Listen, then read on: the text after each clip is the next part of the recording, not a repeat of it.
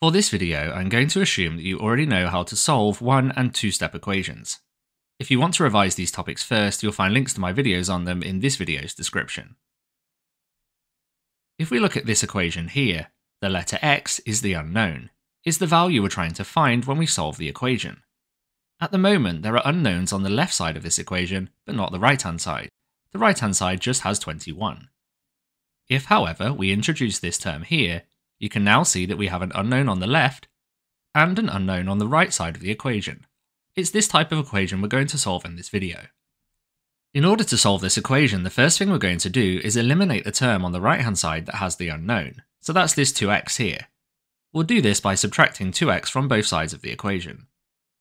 When we subtract 2x from the left hand side of the equation, you only subtract the 2x from the 5x, and not the 6. So it's 5x subtract 2x, which is 3x, and then we have plus 6, which doesn't change. On the right side of the equation, we do 2x subtract 2x, which is 0. So those terms cancel out, and we're just left with the plus 21, which we can write as 21. What we've done here is turn this into a normal two-step equation, which you should already know how to solve. We need to deal with this plus 6 here by subtracting 6 from both sides.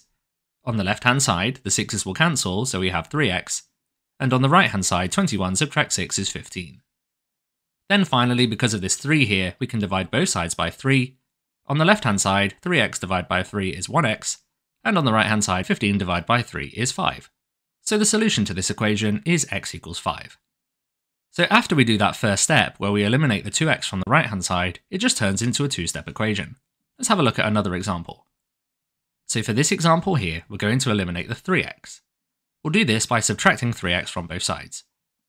On the left-hand side, we'll do 7x subtract 3x, which is 4x. And we leave the negative 5 as it is. On the right side, 3x subtract 3x is 0, so those terms cancel, and we're just left with plus 19, which we can write as 19. Then we solve the two-step equation in the usual way. Because of this subtract 5 here, we're going to add 5 to both sides. On the left-hand side, negative 5 plus 5 is 0, so we just have 4x. On the right-hand side, 19 plus 5 is 24. Then because of this 4 here, we divide both sides by 4. 4x divided by 4 is 1x, and 24 divided by 4 is 6. So x is equal to 6. In this next example, there's an error that many students make.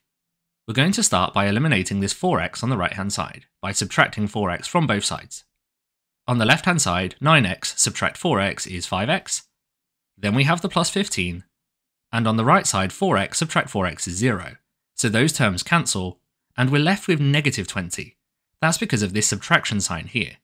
The common mistake that I see here is students just write 20, but it's actually negative 20 and needs to be, otherwise you will get the answer wrong.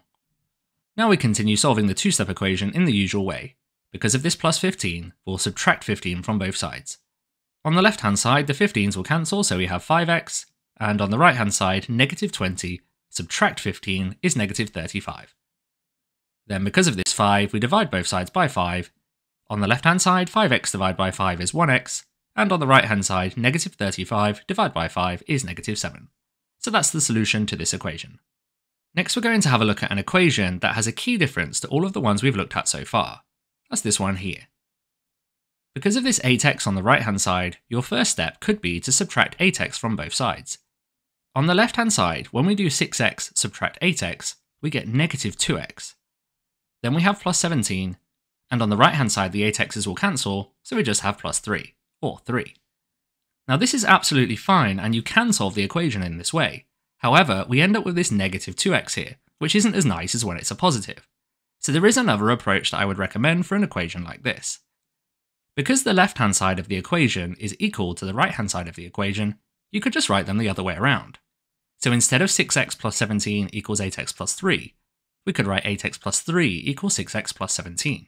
The reason we ended up with that negative 2x before was because the 8x was greater than 6x, so we had more x's on the right hand side. If you have fewer x's on the right hand side, you won't end up with a negative. So because 6x is smaller than 8x, this one will work out okay. Now we can continue as we did before, but we're going to eliminate the 6x instead, by subtracting 6x from both sides. On the left hand side, 8x subtract 6x is 2x, then we have the plus 3, and the 6x's will cancel, so we just have 17. Now we can solve as normal, because of this plus 3 here, we subtract 3 from both sides. This will give us 2x on the left hand side, and 17 subtract 3 is 14 on the right hand side. Then because of this 2 here, we divide both sides by 2. On the left hand side, 2x divided by 2 is 1x, and on the right hand side, 14 divided by 2 is 7.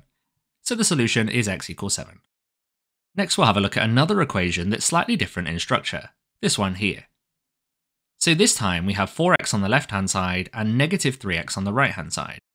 Remember we said in the last question that you want fewer x's on the right hand side.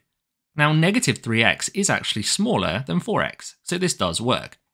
But to eliminate a negative 3x, we're going to need to add 3x to both sides, and that's different to all of the questions we've done so far.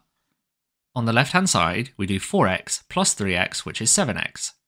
Then we have the negative 13, and on the right hand side, negative 3x plus 3x is 0. So those terms cancel and we're left with 8. Then we solve in the usual way for a two-step equation.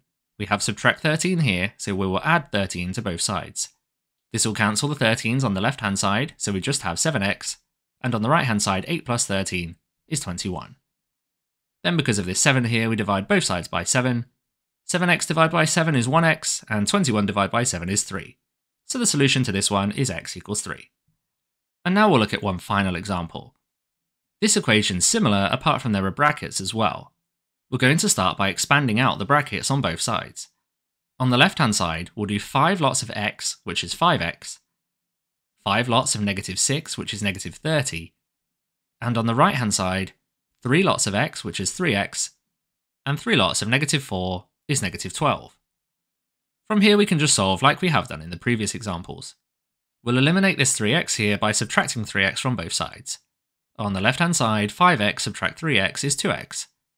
Then we have subtract 30, and on the right hand side the 3x's will cancel, so we have negative 12. Then because of this subtract 30, we add 30 to both sides. On the left hand side, the 30's will cancel, so we have 2x, and on the right hand side, negative 12 plus 30 is positive 18.